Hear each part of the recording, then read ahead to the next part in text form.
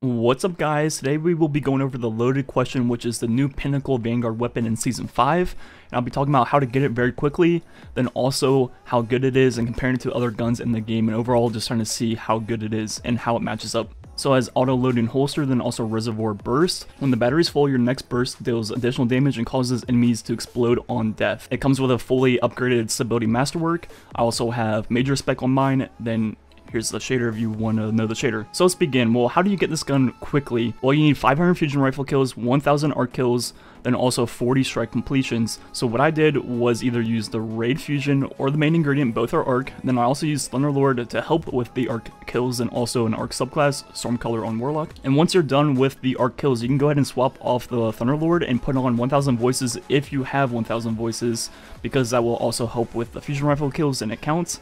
But you want to be running the Lake of Shadow Strike on Earth because it is the fastest strike in the entire game, taking roughly like 3 to 4 minutes to complete.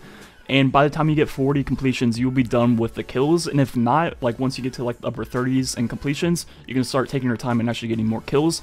But that's the fastest way to do it overall. So let's start talking about the weapon.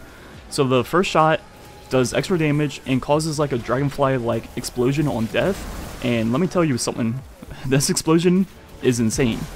It's actually crazy. So there's two things going on with the first bullet, extra damage, then the dragonfly on death. But these two things only work on the first shot of your mag, and if the mag is full. So if you're below 7 ammo, it will not work. So let's start breaking down in more detail some of these perks. First, looking at the extra damage on the first shot, I'm gonna go ahead and shoot off a shot and test without the perk proc how much damage I do on this ogre. And I hit 673 per burst and it hits 7 total bursts per shot. Now let's test with the perk actually active on the first shot of the mag. It now hits 896 per burst 7 times once again. So that's 4711 damage without the perk, 4272 with and that means 33% more damage when this perk is procced. So let's go ahead and test the rate of fire of this weapon and find the damage per second number of this gun on this ogre. And for this number, I'm just going to use the first burst is the perk, then the last six or just regular. So in this scenario, you're going to be doing 34,500 damage total in your 7 shots, meaning 3,743 damage per second, which is kind of low.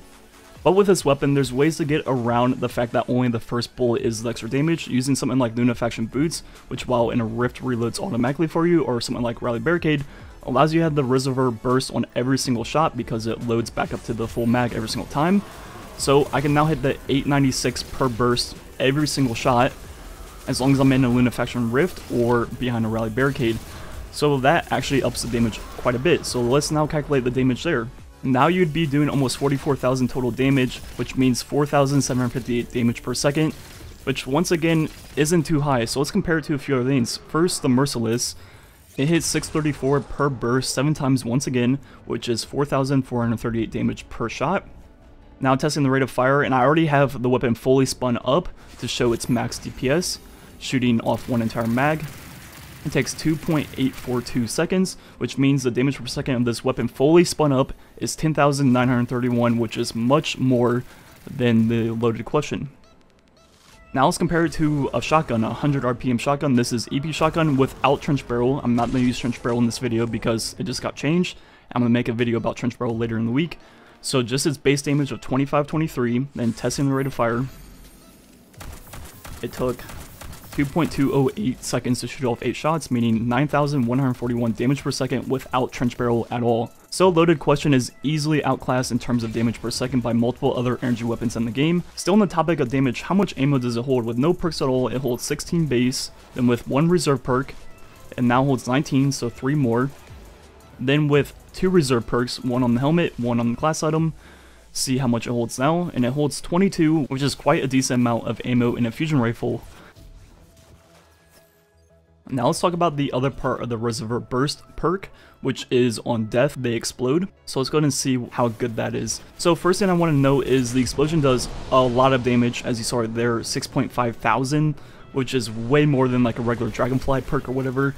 So if someone's in the radius of this explosion, it's going to die. Like, it's straight up dead. And it's easy the best explosion type perk on death in the game, better than Firefly, better than Dragonfly. It might not be better than the Thunderlord one because it can chain, but it's very good. Now let's talk about auto loading holster, its final perk, where when you uh, swap to a different weapon, it reloads for you mainly. And it took 2.705 seconds for that perk to proc, which is actually pretty good because the base reload of this weapon, since it's a high impact fusion, is extremely slow, as you see right here.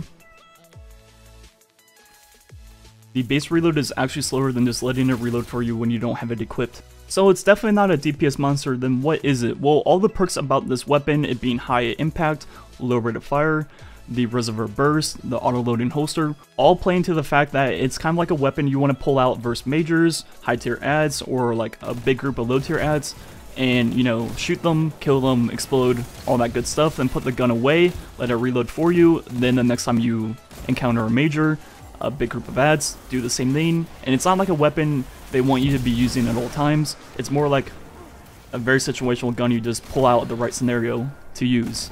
And this sounded like a really good scenario for Gambit, because in Gambit there's a few high tier ads per wave, then there's blockers which are majors, and pulling this weapon out can easily one-shot them, but one thing to keep in mind is you need a full mag to be able to use this perk, and in Gambit when you only start with 9, once you shoot 3 shots, you no longer have the perk because you only have 6 shots, even if you reload, that's not a full battery, so you would not have the perk. And once below 7 ammo, this is just a regular fusion rifle, that's all it is. So to really take advantage of this gun in Gambit, you kind of have to get lucky early on and get a special ammo box, that way you can take advantage of the main perk.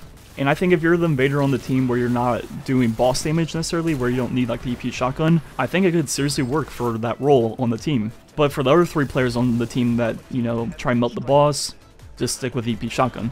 Real quick, I didn't even play PvP with this gun because unless you go around collecting ammo for like a minute, you're not going to have the perk anyway, so it's just a regular fusion in PvP for the most part. But let's talk about overall my opinion on the gun in PvE. So it's clearly not a great DPS weapon, but what it's trying to do, what its purpose is, I think it does it really well.